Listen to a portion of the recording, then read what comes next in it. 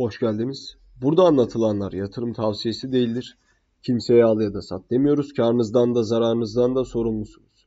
Abone olup videoyu da beğenebilirsiniz. Teşekkür ediyorum şimdiden. ADA üzerine konuşacağız arkadaşlar. Cardano üzerine hazırlanmış TradingView'deki bu haberi inceleyeceğiz. Ve genel olarak fiyatlar üzerine ve beklenti üzerine konuşacağız. Şimdi bakalım ne diyor. Cardano ağın merkeziyetsiz finans sahnesine yerleş, e, yerleşmesine yardımcı olan hızlandırılmış ağ geliştirme faaliyetleriyle desteklenen en heyecan verici kripto para projeleri arasında yer alıyor. Doğru. Cardano topluluğu zincir üzerindeki faaliyetlerin gelecekte adayı olumlu yönde etkileyecek konusunda iyimserliğini koruyor. Şimdi e, Cardano bir kere arkadaşlar şunu söylemek lazım. 2022'nin biliyorsunuz kendileri geliştirme şampiyonu oldu. Yani 2022'de en çok geliştirme faaliyeti Cardano e, blockchain yapısı üzerinde gözlemlendi.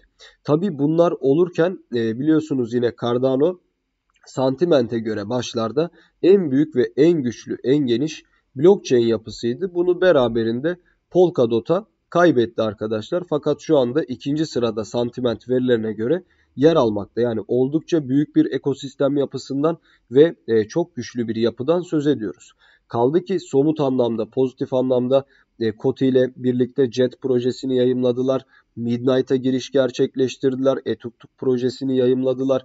Gibi gibi daha e, birçok noktada hem e, sıfır bilgi alanında işte hem otomotiv sektöründe her sektörde başarılı bir şekilde yer aldılar. Başlangıçta TFL değerlerinin düşük olmasından dolayı e, yatırımcılar biraz rahatsızdı fakat zamanla şu görüldü ki aslında piyasa açıldıktan sonra TFL değerleri farklı e, coinlere göre, farklı emsallerine göre çok daha hızlı bir şekilde artış gerçekleştirdi. Beraberinde ağdaki işlem sayısı ortalamanın üzerinde bir artış yaptı. Dolayısıyla şunu bilmek lazım. Cardano beklentinin üzerinde bir radikallik sergiledi ve e, yapılan çalışmalar piyasa pozitif gittiği anda Ada Coin'de Cardano ekosisteminde meyve vermeye başladı diyebiliriz. Kripto para piyasasının değişken yapısı nedeniyle geliştirme faaliyetlerinin adanın değerlemesine e, yansıyıp yansımayacağını belirtmek daha zor. E, yansıdı. Gelecekte nasıl bir performans sergileyebileceğine dair bir fikir edinmek isteyen yatırımcılar varlığın fiyatını tahmin etmek için yapay zeka tarafından desteklenenler gibi farklı araçlardan yararlanıyor. Bu arada benim e, şahsi düşüncem arkadaşlar, benim e, şahsi kanaatimdir. Ben Cardano'nun yapay zeka alanına gireceğini ve bu alanda çalışmalar yapacağını düşünüyorum. Biliyorsunuz e, yapay zekalar şu an piyasada katalizör ki an itibariyle buna Terra Classic, Tron yani TRX, işte Launch veyahut da Chainlink, Link gibi projeler e, buna giriş gerçekleştirdiler ve bu alanda e, çalışma gerçekleştireceğini resmi olarak duyurdular. E, Cardano'da e, burada tıpkı Matic gibi resmen bir katalizör avcısı diyebiliriz. Dolayısıyla ben Cardano tarafından yapay zeka alanında çalışmalar bekliyorum. Bakalım zamanla ne olup ne biteceğini göreceğiz. Coin Codex'in makine kendi kendine öğrenme teknolojisi olası ada değerlendirmesi belirtmek kullanılan varlıklar arasında yer alıyor. Araçtan 3 Mart'ta elde edilen verilere göre ADA'nın 31 Aralık 2023'te 0.49 dolardan işlem görmesi muhtemel. Öngörülen değerleme Cardano'nun yanıldığı tarihteki fiyatındaki yaklaşık %44'lük. Ya şunu söyleyebilirim Allah aşkına. Bakın CZ de aynı açıklamayı yaptı Twitter üzerinden. Galiba yani çok kısa zaman önce yani 3-4 ay falan olmuştur. Dedi ki adam e, bu yapay zeka şey yani yapay zekalar tahmin yapmasın dedi. Lütfen yapay zekalar tahmin yapmasın. Ya o kadar saçma saçma bir şeyler söylüyorlar ki arkadaşlar. Neyse şurayı da e, genel olarak bir değerlendirip devamında tahminlere geçelim. Cardano geliştirme faaliyetinin etkisi. Şu anda Cardano'nun değer artışı düşüş eğilimini sürdüren genel piyasa fiyat e, hareketlerine bağlı. E, ve ne diyor? Zincir üzerindeki kayda değer faaliyetler Cardano'nun Ocak ayında yaklaşık 50 bin cüzdan eklediğini ve ağın balina faaliyetlerinde artış kaydettiğini gösterdi tabii ki. Şimdi şöyle bir geçelim bakalım adada e, ne var ne yok arkadaşlar. Oraya döneriz. Şimdi e, şunu da belirtmek lazım. Ada biliyorsunuz regülasyonlar açısından da an itibariyle pozitif bir etki gösteriyor.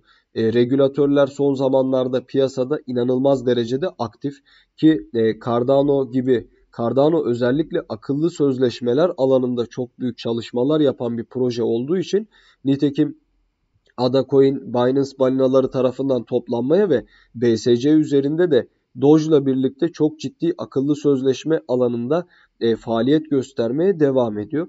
Dolayısıyla burada bilinmesi gereken şey yine Avrupa Birliği'nin haberleri üzerine ilerleyen süreçte Cardano gerçekten regülasyonlardan pozitif etki alabilir ve güçlü yükselişler ADA Coin'de gözlemlenebilir. Şimdi piyasanın hemen hemen büyük çoğunluğuna kıyasla da ADA Coin'in anlık olarak kısa vade hareketleri oldukça zayıf. Yani hem e, trader oranları hem mev, e, mevcut hacmi, volüm market cap değeri oldukça düşük arkadaşlar. Yatırımcı şu anda ADA Coin üzerinden işlem yapmayı tercih etmiyor normal. E, çünkü ADA Coin daha çok bir e, uzun vade yatırımı olduğu konusunda pek çok kişi aslında hemfikir olmuştur. Şimdi fiyatlar bakımından neler var? Bir kere e, bakmak gerekiyor. Saatlikte şu an deniyor. E, alamıyor. Alamama ihtimali de çok yüksek. Yani 34 kırılımını yapamama ihtimali çok yüksek. Çünkü bir güven ortamı mevcut değil. E, beraberinde trader oranları çok düşük. Burada bir geri dönüş beklemek için hiç iyi bir zamanda, makul bir zamanda değiliz arkadaşlar. Şimdi ADA Coin'de fiyat düşüşleri nereye kadar tekabül edebilir? İlk olarak 32.5'lara kadar önümüzdeki birkaç gün içerisinde ben mevcut Bitcoin hareketlerinin devamı halinde tekabül etmesini bekliyorum. Ki e, son iğneleme çöküş dahilinde de hemen hemen buralara kadar geri çekildi. 32.5'lardan bir parti güzel bir şekilde kademeli alım Cardano tarafında yapılabilir. Oldukça makul bir fiyattır arkadaşlar. Eğer 32.5'lar kırılırsa ki bu Bitcoin'in 21.5 binlere kadar ayın 22'sine yaklaşırken salınım yaptığı bir süreci içerecektir. Ada Coin tarafında da 0.3 dolarlara doğru bir geri çekilme gözlemleyebiliriz arkadaşlar. 0.3 dolarlı fiyatlarda adada büyük bir alım fırsatı anlamı taşıyacaktır. 0.3 dolar fiyatlarından Ada Coin alımları e, gerçekleştirilebilir. Şimdi yıl sonu fiyat tahmini ile alakalı tabii ki net bir şey söylemek, büyük konuşmak zor.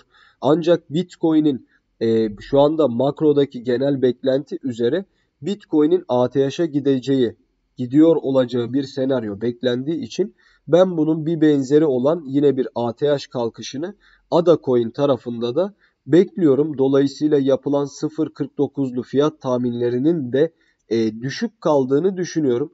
Özellikle şu anki e, mevcut süreç yani fiyatların düştüğü bu süreç içerisinde arkadaşlar yatırımcının da e, bu fiyatları değerlendirmesi gerektiği kanaatindeyim. İzlediğiniz için teşekkür ediyorum. Abone olup videoyu da beğenebilirsiniz. Bol kazançlar dilerim izleyen herkese. Hoşçakalın.